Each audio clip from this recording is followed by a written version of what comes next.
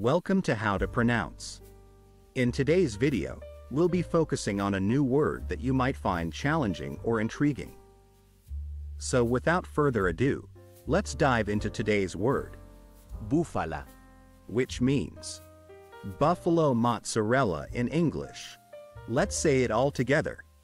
búfala, One more time. búfala, Now let's split the word into syllables and then pronounce each syllable one by one. bú, fa, la. Thank you for joining us on this adventure in pronunciation. Remember, language is a journey, not a destination. Keep exploring, experimenting, and expanding your linguistic horizons. We'll see you next time.